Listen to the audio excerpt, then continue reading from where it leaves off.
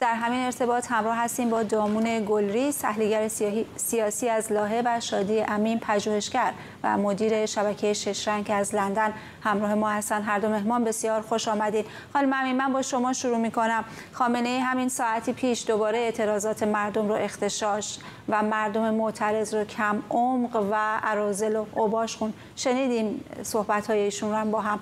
تحلیل شما چه هستش از صحبت های خامنه ای؟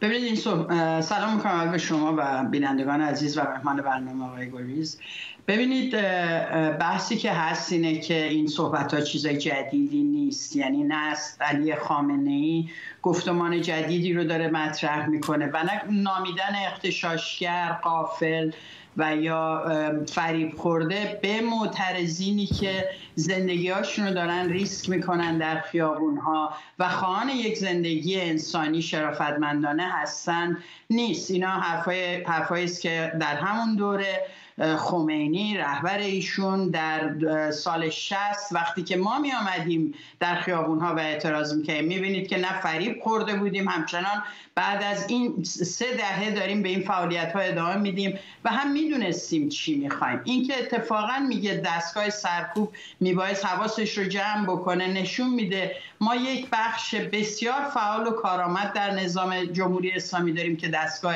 سرکوبش هست و بخشی رو داریم از جامعه در مقابلش که بخش معترض هست. در واقع سوال امروز این هست چگونه می‌تونه این نیروی معترض خودش رو سازماندهی بکنه و این نیروی سرکوبگر رو به رهبری علی خامنه ای شکست بده؟ منتظر هستیم که وقایعی که در ایران داره اتفاق میفته جواب این سوال رو تعیین بکنه و تاکید می‌کنم تشکلهای موجود در ایران کانون معلمان تشکلهای کارگری تشکلهای دانشجویی تشکلهای زنانی که در ایران به شکل متشکل فعالا تعیین کننده پاسخ به این سوال خواهند بود که کی دستگاه سرکوب رو ما ناتوان و کل نظام جمهوری اسلامی رو از پای خواهیم انداخت.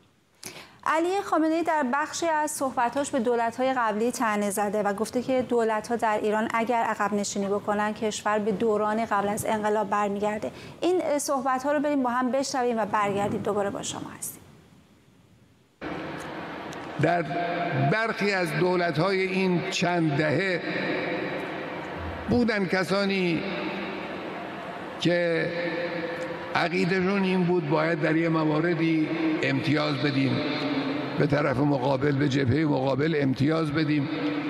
یه مقدار عقب نشینی کنیم. در یکی از این دولت ها رئیس جمهور ما رو همان کشورهایی که ما در مقابل آنها عقب نشینی کرده بودیم رئیس جمهور ما رو به دادگاه قیابی کشوندن برای رئیس جمهور ایران کیفرخواست در دادگاه صادر کردن.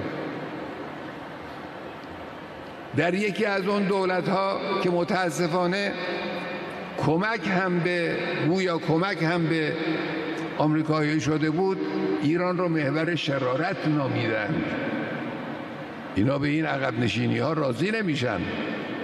اونچه اونا می‌خوان این است که ایران رو به دوران قبل از انقلاب برگردانند آقای جامون در صحبتی که همین الان شنیدیم خامنه ای به دولت های اشاره می‌کنه که گویا با آمریکا همکاری داشتن. چرا جوری وانمود می‌کنه که اصلا از قضیه بی اطلاع بوده؟ درود بر شما بینندگان عزیز و سرکار خانم امین. خب خامنه ای جز این کار دیگه رو نمی‌تونه انجام بده. به این معنا که صرفا هدفش این هست که بتونه با دروغ و وارون نشان دادن واقعیت یک می‌دونید یک مجموعه ای که به نام ایدولوژی جمهوری اسلامی صرفا الان پایگاه اجتماعی خیلی خیلی کوچکی داره در داخل ایران رو به عنوان پایگاه خیلی بزرگ نشون بده و خیلی هم جالبه. می‌دونید این حکومت صرفا به دنبال حذف یعنی از آغاز انقلاب 57 و همه کسانی هم که در این انقلاب شرکت کردن فقط به دنبال حذف بوده. حذف همه چیز بجز ایدولوژی اسلام و اون هم خانشی که اینها از اسلام دارن. من برای داوری اینی که واقعا این کارنامه خامنه ای و خمینی به چه شکلی هست بهترین روشی رو که در نظر می‌تونم بگیرم گام دوم سند گام دوم انقلاب خود خامنه ایه که چند سال پیش منتشر کرد و یکی از اسناد مهم حکومت برای اینکه در به اصطلاح خودشون در آینده به چه شکلی حکومت رو ادامه بدن. شما اگه این سند رو مطالعه بکنید که متاسفانه در رسانه کمتر بهش پرداخته شده که در اون هم یک نوع بازنگری از گذشته است و هم یک نوع چشمانداز حکومت هست برای آینده کاملا ورشکستگی این حکومت رو می‌تونید مشاهده بکنید که چقدر از واقعیت های امروز ایران و دنیا به دوره. از این منظر که الان در حال حاضر طبق گفته خود مقامات حکومت از 75 هزار مسجد 50 هزار تاش بسته است. در ده سال گذشته تعداد طلبه ها برای نامنویسی و ادامه تحصیلات طلبگی در ایران با 76 درصد کاهش داشته. وضعیت نگاه دینی مردم ایران طبق گفته خود همین مقامات کاهش پیدا کرده. خب حکومتی که اصلا ما بحث اقتصاد و امنیت و بهبود آب و هوا رو اصلا مطرح دیگه نمی کنیم بحث رشد اقتصادی که در زمان قبل از انقلاب در دوران شاه فقید وجود داشت اصلا مطرح نمی کنیم همین واقعیت خود دین که اصلی ترین عنصر جمهوری اسلامی هست را اگه نگاه بکنید خب این حکومت باعث دین زدایی شده. و این دین زدایی به جایی رسیده که الان بزرگترین دغدغش اینه که خیزش بعدی انقلابی در ایران رو اتفاقا دینداران به خاطر به خاطر این اتفاقات در دست بگیرن و نه فقط جوانان و زنان. جمهوری اسلامی از نظر فرهنگی کاملا ورشکسته شده. هیچ راهی جز سرکوب نداره. هیچ راهی جز تهدید و دروغ که در صحبت‌های خامنه ای نداره. به خاطر همین هم هستش که معمولا افرادی که ضعیف هستن به این شکل وارد استفاده از کلمات توهین آمیز نسبت به ملتی میشن که یکی از قدیمی ترین ملت ها در طول دنیا در طول تاریخ بشریت هست. از لوح کوروش بگیرید که برای حقوق بشر استفاده شده در سازمان ملل تا بقیه. خب این نشون دهنده ضعف حکومتی هستش که حکمرانش خامنه ای باشه.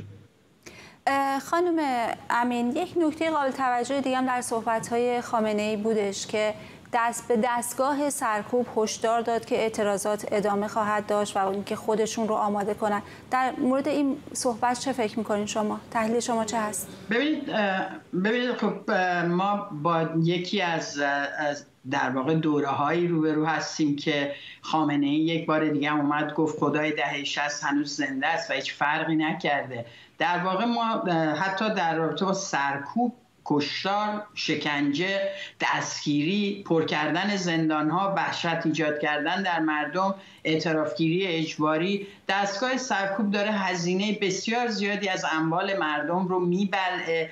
برای اینکه معترضین رو ساکت اینا همون کسایی هستن که به شکنجه در زمان شاه ایراد می‌گرفتن. قرار بود اون شکنجه ها نباشد. قرار بود نه تنها اون سرکوب و محدود کردن در واقع نیروی روشنفکر و فکر جوانان وجود نداشته باشه بلکه ده ها برابر بدترش رو اینها اعمال کردن در طی بیش از چهار دهه. خب این من گفتم این امر تازه نیست. آنچه که تازه است و این تاکیدات اینها روی این نشون میده که یک جایی ترسیدن و این ترس واقعی است. ترس از ملتی که هزینه خرج روزانه فرزندان و خانوادهش رو نداره.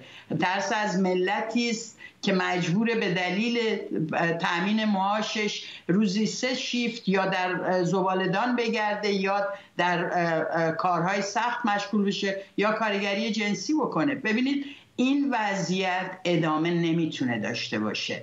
اشاره شد به اینکه به هر شکل مردم بیزارن از این حاکمیت. بخش عظیمی بیزارن. اگر حتی مقاطعی بترسن از این دستگاه سرکوب از دستگاهی که اتفاقا ارازل و باش رو بسیج کرده از دستگاهی که در دو فضا داره به ما حمله می‌کنه. یکی در فضای در واقع رسانه‌ای و شبکه های اجتماعی به شدت نیروی سایبریش رو فعال کرده. یکی هم بازوی در واقع فیزیکیش که در جامعه عملکرد داره و داره میترسونه. ببینید با وجود این ما با مقاومت خیلی جدی داخل جامعه روبرو هستیم. با وجود این زنان و دختران دارن کاری رو می‌کنن که بسیاری از ما تصورش رو نمی‌کردیم. روزی در مقابل این دستگاه سرکوب ممکن باشه. اینا دارن با آستین کوتاه با رکاب انتخابی بدون روسری که می‌دونیم چقدر می‌تونه براشون هزینه سنگینی داشته باشه میان تو خیابون. در فضای مجازی دارن فضای بیشتری از خودشون از آن خودشون می‌کنن و گفتمان سازی می‌کنن. بله. علیه این سیستم دارن حرف می‌زنن. به این معنی من فکر می‌کنم تمام این در واقع سیگنال دادن یا نشانه هایی که خامنه ای میده از دستگاه سرکوبش از جنرالاش از سران سپاهش از بدنه سپاهش از تمام این نهادهای سرکوب و دستگاه اطلاعاتیش می‌خواد که فعالتر عمل بکنن. ما داریم می‌بینیم در ماهای گذشته بسیار فعال عمل کردن اما هنوز نتونستن نه تنها این اعتراضات رو بخوابونن بلکه نتونستن ترس رو به جامعه مسئولی بکنن. و این اون چیز جدیدی است که مقاومت جامعه است. من. این اون چیز جدیدی است که ریختن ترس در بین اذهان جامعه است که متاسفانه در واقع ما با یک مقدار شاید پایین و بالاهایی روبرو بودیم ولی این فراز و فرودها به این معنی نیست که تونستن این صدا رو خفه بکنن آقای گلریز اگر بخوایم یک نگاه کلی داشته باشیم میراث خامنه ای در این 34 سالی که از قدرتش میگذره رو برای کشور شما چه می‌بینید؟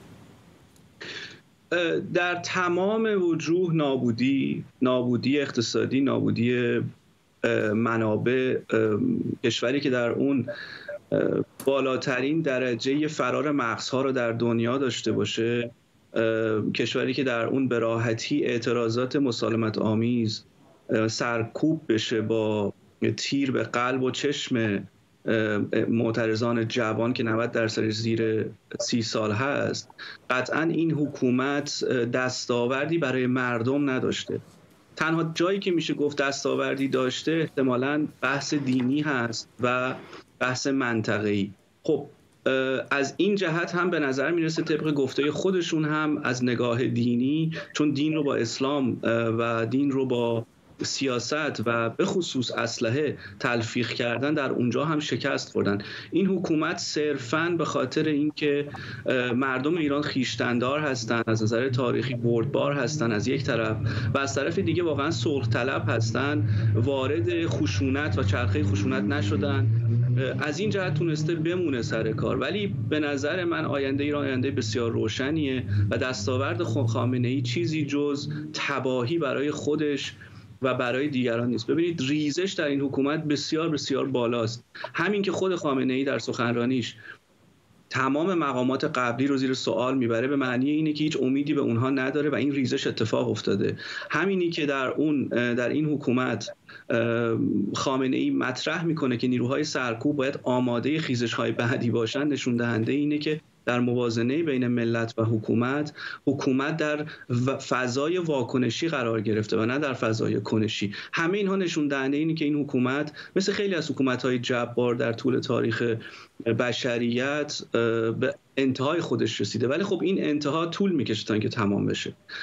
و دستاوردی هم جز تباهی به نظر من در این سالها نه خمینی و نه خامنه‌ای نداشته که در شعارهای مردم هم در خیابان در نگاه به این دو شخصیت میشه کاملا این رو احساس کرد و شنید. بله دامون گلریز و شادی امین. خیلی ممنون از همراهی شما.